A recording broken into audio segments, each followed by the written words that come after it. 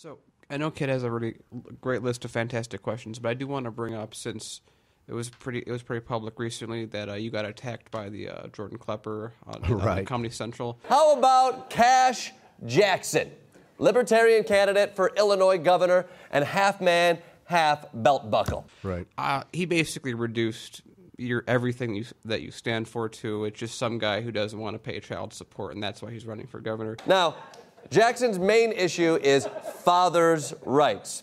And totally unrelated, he was just ordered to pay his ex wife over $10,000 in child support. Right. Can you look into that camera and just tell him what he missed about who you are and what you stand for? Yeah, you, and, and thank you for giving me that opportunity.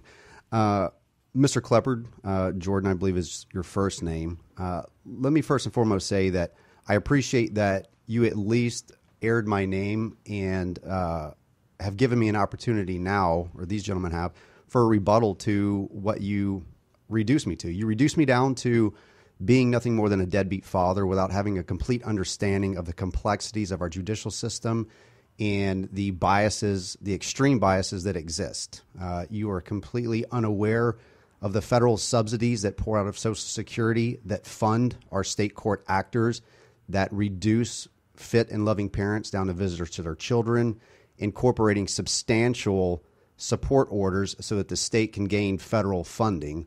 And if you don't believe me, you can listen to the lobbyist Michael Strauss when he testified in front of the Restorative Justice Committee right here in Illinois that if they were to alter and change their business as usual practices, that the state uh, stood to lose millions in federal funding. I am opposed to our children being used as a monetary um, pawn for our state, local, and federal governments to make money. I stand against that, and as a result of that, I've suffered reprisal after reprisal from the own judge in my case, but I have not yet been deterred. And you reducing me on your own show, I think more is more of a reflection of you and your character, and not mine and my character. I'm a fit father. I love my children, and I will fight tooth and nail for all families in the United States.